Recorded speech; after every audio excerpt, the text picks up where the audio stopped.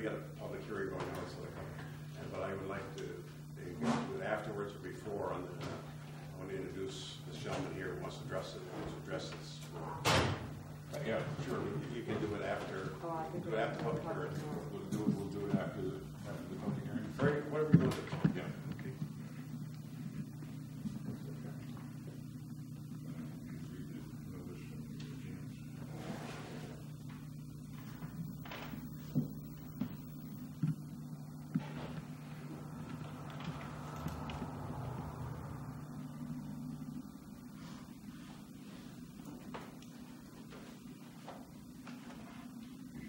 Roll call too, since you got your papers on.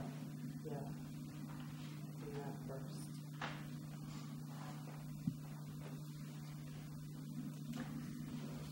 Uh, Rolf Reese. Joe Michaels. Johnson. Here. Gary Guglielmetti. Here. Mark Lodi. Here.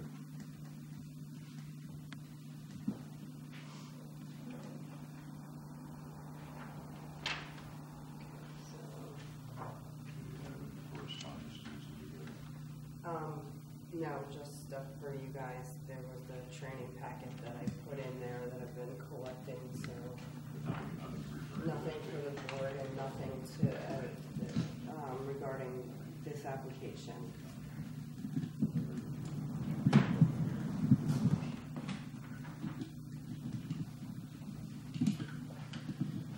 Uh, The legal notice was posted in the Daily Freeman, um, and reads as follows.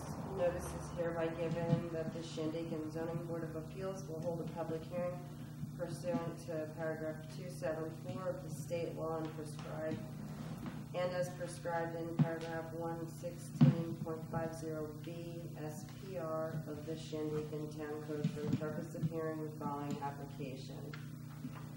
Dean and Carol Pisano, owners of parcel located on Fawn Hill Road, Phoenicia, New York, one two four six four, indicated as section twenty-four point one two, block two, lot three six point one zero zero, zoned R three, are seeking an area variance for a proposed building site.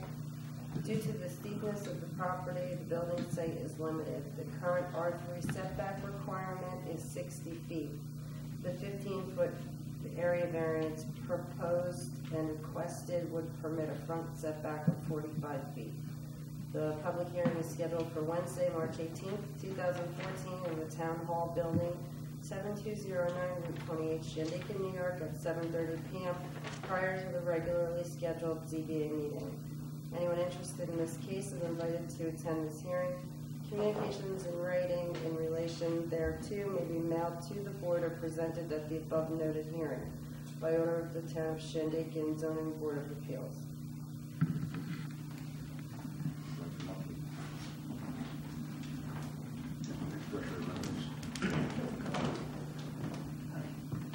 Uh, Just the fifteen-foot variance I was requesting, closer to the road. Uh, That particular lot, because of the steepness. Yeah. Anybody got any questions? No, I think we pretty much covered it last meeting. Um, and the other issue was the proximity to the creek and the back end of the property. Uh, That's quite a ways, so do we, I have the survey map, do you want to look at that? No, I thought these, uh, Yeah, there's, Yeah.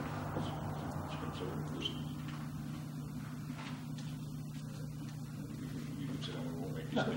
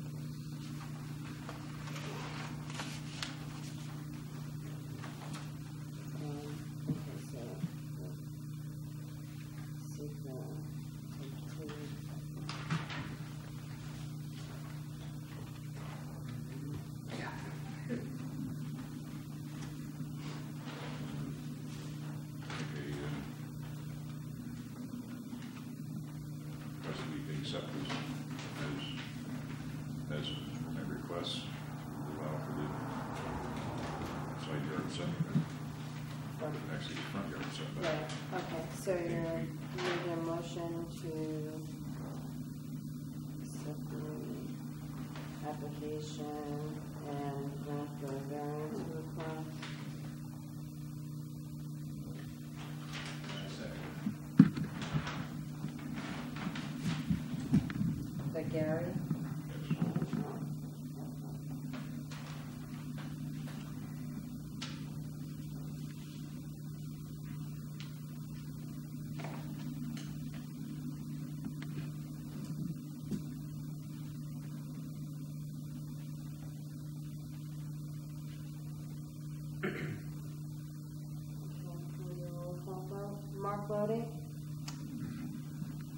Yes. Gary Guglielmetti? Yes. Keith Johnson? Yes.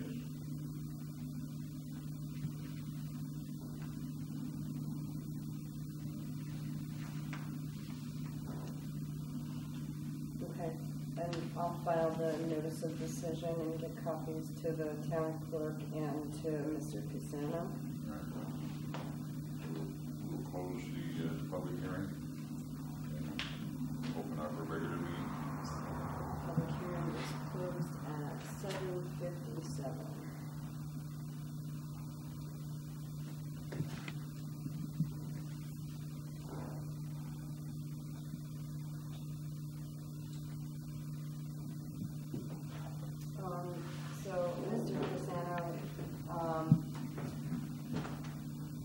Wanna just give me a call tomorrow? Okay. All right, and then I'll just talk to you about what happened there. Okay, very good. Okay? Thank you very much. And you- um, What are your names? Ecervo, What is it? E I, C I, E R, V O. Anthony now. And you were just here on the application for. So I'm just gonna let it come here. to- Well, you didn't have to. No, I just wanted to see what was going on. Oh, okay. I wanted to compare everything. I Gotcha. understand what it is. Okay, so are you, do you, are you okay with that Yeah, now? yeah. Okay, so the public hearing is closed, Mr. Casano is free to go, and if you wish. you want to- Thank you very much, thank you. Thank you for your time. Congratulations, Thank you. I'll talk to you tomorrow. Thank you. You want us to put that under old business new business? Yeah. Listen, name is Al Higley, and I'm going to introduce my attorney in its old business.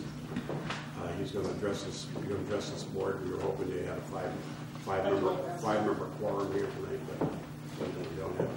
Well, in the future, can you just give me a call and let me know so we can put you on the agenda? Yeah, well, it's, yeah, it's, Because technically, they're supposed to only really address the matters that are scheduled for the that's why I asked, agenda. that's why I asked permission from the chairman. Right. All right, uh, But I would have made an effort to get the other board members here had I known. Uh, well- So that's why I'm saying, if you had called me, I would have tried to Yeah, encourage we, you to come. it's, we, we had, we had, we, we didn't have the days pinned down. Okay. And- And, and you you can blame me for that. But anyway, but Mr. uh, Mr. Wellner, uh, very well known in this field, and wants to address this board. Is it W E L? W E L L N E R. And again, thank you for giving us the time to, to speak tonight. I know we weren't on the agenda, but um, I was recently retained by Mr. Higley and by Hanover Farms in connection with the application that had been pending in front of the ZBA for the um, for the Hanover Farms farm stand. Um, Mr. Higley gave me minutes from a meeting, I believe it was October of, uh, of last year, um, and some other documentation. And, and really, what, what I what we both came up here tonight for was just to address the board and see if um, if we could have the matter placed back on the calendar and reopened. Um, there, there are a couple of things that um, that weren't clear to me, and just in the spirit of cooperation, we wanted to come up here and just address the board and see if we could um, move those things forward and also just uh, just clear them up. From what I saw in the meeting minutes, um, there was a public meeting that was open.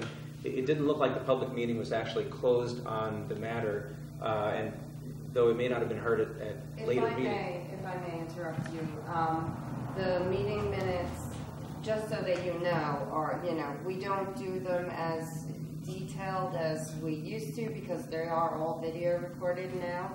Um, so for your own benefit, if you would like to view those, they are posted on YouTube a couple days after every meeting. And because this is, you know, because it's videotaped the way it is, there's a chance that something could have been missed in the minutes. So just because it's not in the minutes, doesn't mean it didn't happen. Sure. Um, okay, so I just want to be clear on that. Okay, yeah, and, and it's good to know that they're available on YouTube. I'll, I'll see if I can find those. Uh, And if you can't find them, I'm happy to, to, um, get you a copy. okay, I appreciate that. Sure. Um, it, it seemed like the other thing, just in reading through the minutes, um, when the Hanover Farms application was denied, what was listed as the reason for the denial was there was information that the DOT had been seeking, which, uh, according to the discussion that day at the meeting, and I, I believe Mr. Higley wasn't here at that October 15th meeting, but there was discussion about material that hadn't been provided to the DOT. And from what I saw in the minutes, the, the application was denied because of information not being supplied to the DOT.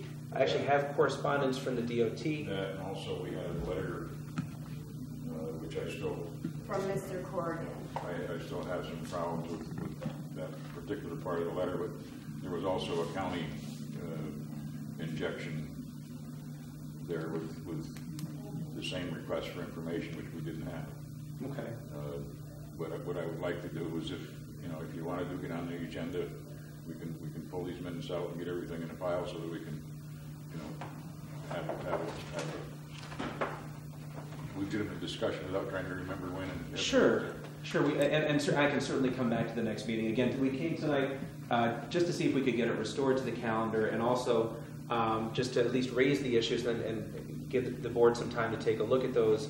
And when we come back to the next meeting, we can resolve them. Um, I have a letter from the, the New York State DOT saying that, in, from what I understand here, in essence, the DOT was saying to the zoning board of appeals that if that it was up to the this, to this board to decide whether it was going to grant a variance or not. Once that decision was made, if the board granted a variance, the DOT would accept that, and then it could proceed with its work. But the the, the, the DOT was waiting for you folks to act.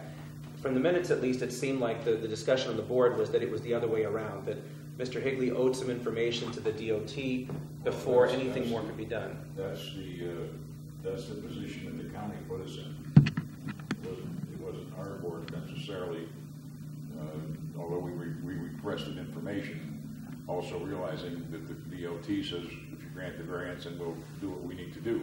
But also in the, in the Yeah, meantime, I actually have the letter right here. we received, we received that letter stating that, uh, we needed that additional information to be able to grant the variance. It was a, it was a, uh, well, she has a letter there, it was, it was, it wasn't a recommendation, it was a requirement. And, uh, and, and maybe that's um, where my understanding differed. Well, but that's maybe there's what some- the, the, it's in the last paragraph of Mr. Corrigan's letter where he says, uh, I will respond by stating that the department will agree with the determination of the local zoning board on whether or not they chose to choose to grant a variance for setback. The department does not have a setback, a set standard for setback. We honor the local code and or any variance. I cannot move forward on my review until the setback issue is resolved, so a realistic site plan can be developed.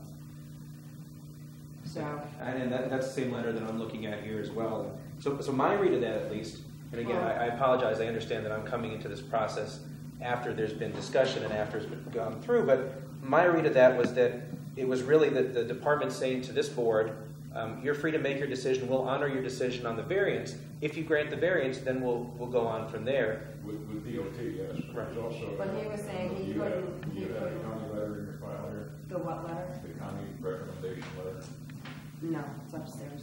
I can go get it if you'd like. because that was, that was what the last decision was based on, the county letter. Okay. Um, maybe we should just put this on the agenda for next month, because I'm gonna have to get everything in order first.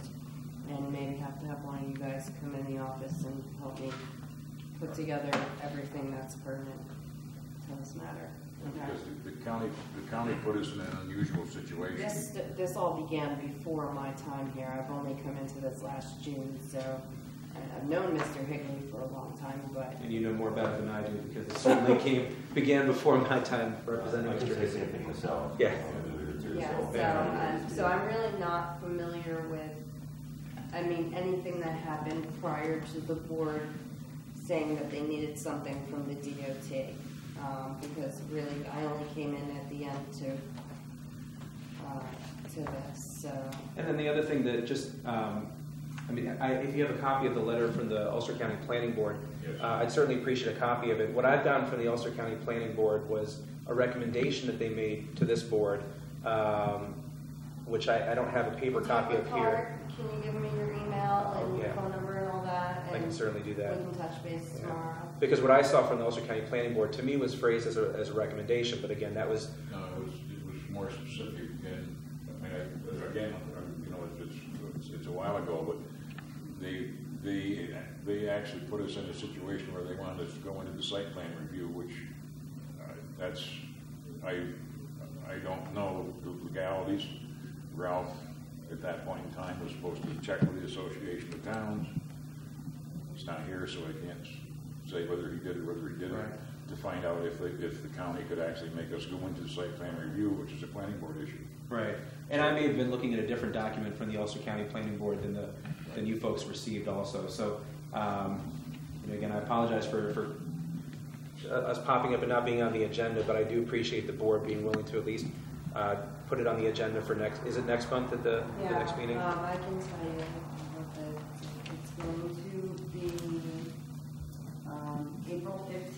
7.30.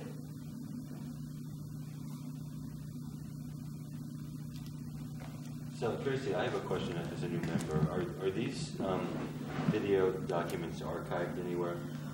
Um, in my office. um, no, they're put on. Well, they're put on YouTube, and then the town clerk has a copy, and I have a copy um, of only the planning. The let me start over.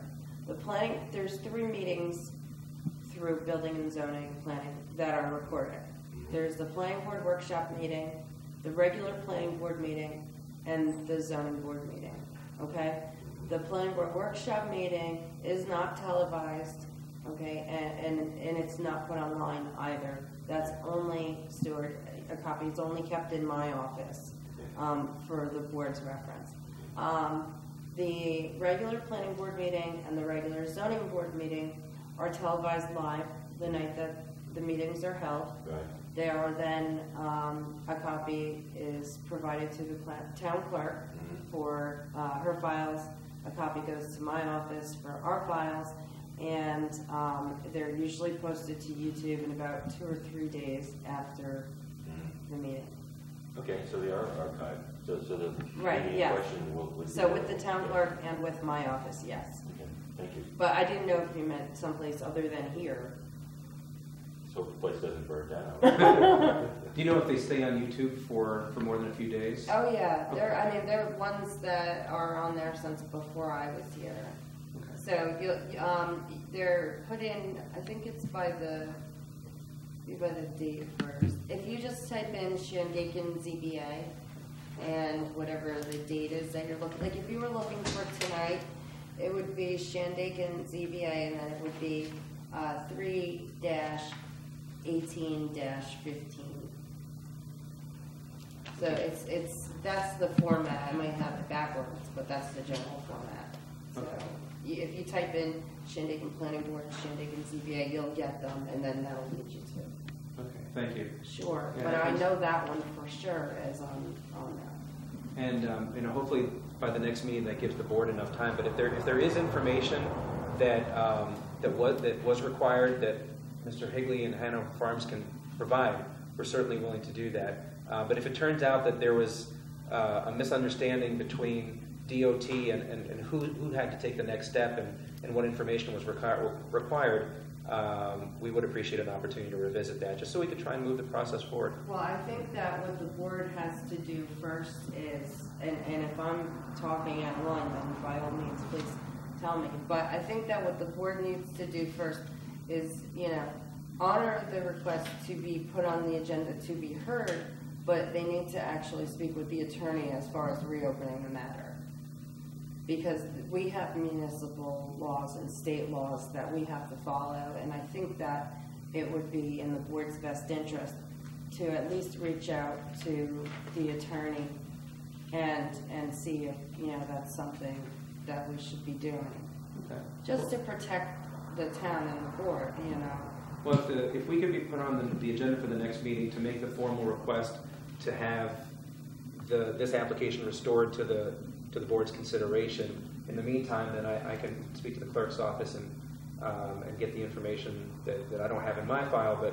Yeah, um, I, I think that, like, between now and April, it'll give us time, you know, because I, if, if they're okay with that, I'm happy to, uh, you know, consult with the attorney and, and see how to handle this.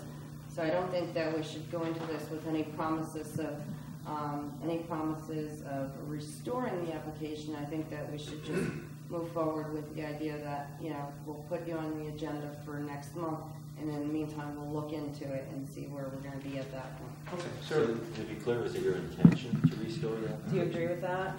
Yeah, we, we would like to restore the application. Um, You know, there's, there's, there's a possibility that it can happen, although I'm not, I, I, I know that we've had issues before where there was, where there was misunderstanding, uh, lack of information in this, fi- it's, it's a possibility that you can reopen the application. I don't know that we legally can because the public, the last decision was made to, to deny the application. Well, So- there's a time frame after the close of the The, public. well, I think there's, I think there's three years. There's quite, there's quite a span of time to, to be able to. No, after the close of the public hearing, it's like forty-five or sixty days. Well, make a yeah, but there's, there's, there's, there's other.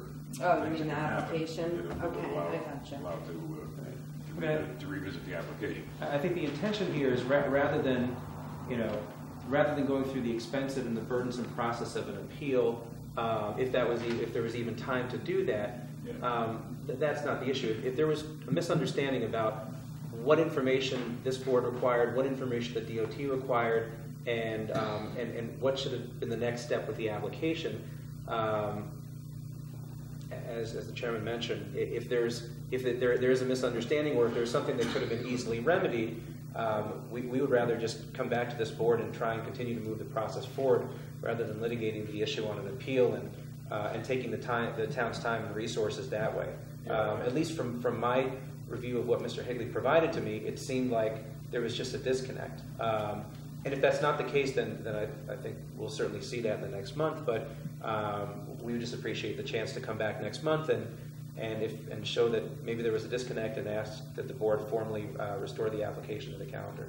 Yeah, right, we'll, I'll check in the meantime with the, with the town attorney and make sure that we, we're not stepping, you know, not back, not beating ourselves in the face and, and doing something which is gonna come back on both of us. Sure. Uh, I, I don't have a problem with, with listening to the, listening to what you have, and, uh, looking back into it, even if you have to reapply, it would be, a- be maybe a situation where we just, you know, the simplest thing maybe to reapply, I don't know. I can, I can um, check, I can. I can If you want, I can, I know that, um, you can't, but I can provide you copies, but if you want, what I'll do is, um, I'll email the information to the attorney, and then this way I can copy everyone else on the attorney's response. I may talk to a different attorney. Okay. But you're, Well, yeah. not sure. I'm not, you know, I'm just, I'm just saying, it may not be that, maybe send it to a different, different voice, but anyway. Yeah, I, I don't have a problem with, with, with having you come back next week. Well, I have the, um, the attorney that's on the, um, the, the attorney that the planning board has working on the resort project, but this is a general question. He doesn't need the case information, you know what I mean? So I can just ask him, Yeah. you know, as a matter of, you know, just to make the I'll- I'll inquiry. into the office, we'll, we'll, we'll do something together maybe. Okay. but Mr. Wellner, your, your issue is basically procedural, there's no new germane information. No, it- it- the, it- the, the issue is procedural. What, what can we do to restore this to the calendar so we can finish the application process so the board can then uh, make its decision? And, um, and I, I would just ask, if there is, you know, I'm I'm certainly not asking you to tell me what your lawyer's advice was when, when you consult with your, with the, the board's attorney, but if there seems like there's some procedural roadblock that just prevents the existing application from being restored, if there was some sort of a misunderstanding uh, that, that led to the vote at that October meeting, um, please let me know before the, before the meeting, and, and Mr. Higley and I can also talk about submitting a new application then if that's what we need to do, rather than taking the board's time. Um, I mean, if it's, a- if it's a question that needs to be discussed at the meeting, we're, we'd certainly like to come and do that. If it's a clear cut, there's no way to restore anything to the calendar, then um, please let me know so we can, we can come prepared to the meeting and not waste the board's time. Sure. And now, please refresh my memory, was that last October or the October before last? Fourteen. 2014, October. that's right. October 15th, I believe, 2014. Yeah, And I'll, I'll be happy to provide my contact information to the clerk after the meeting. great. Thank you all. You said you had some, you had something about you wanted to amend on the minutes? Uh, yes, there, there was an inaccuracy in the minutes, if I may, Tracy, on the, uh, roll call vote for, uh, for Mr. Casano. Although you tallied four votes, you only had three listed because. Wait, you hang on, the what? On, on the minutes from the last meeting, February eighteenth. Second page. Roll call vote.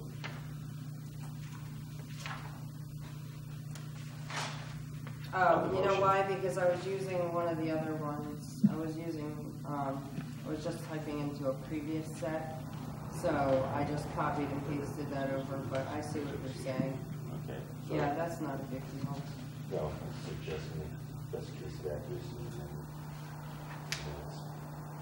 Well, there's actually gonna be a notation in the bottom of this that I, um, have put into the planning board once because I was doing very long and detailed, um, minutes, and the, um, town clerk and I had this discussion, and she said that moving forward, because everything is, um, video documented, that it wouldn't be necessary to do that, so that I should shorten them to save myself time, because this is time consuming and there's not enough time in the day.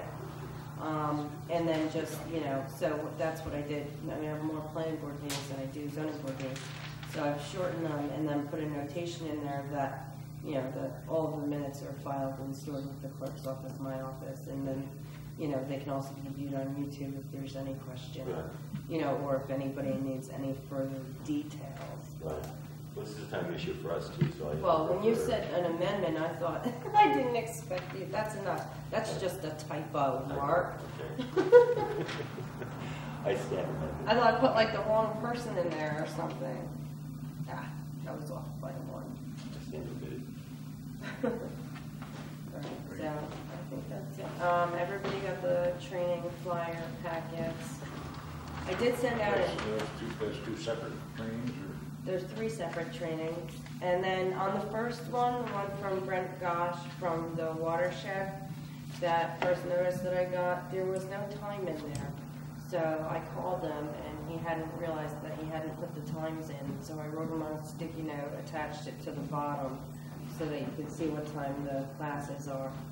Um, and then there was two other ones also. Now, if you go to this one, on April 16th. This will count for four and a half hours of training credit, and you'll have all your training time in for the year if you attend this one. There is a $10 fee, but, um, you know, I can put a voucher in, um, for it. No, this isn't the one for the Hannah. The Hannah's a two-day one. This is the annual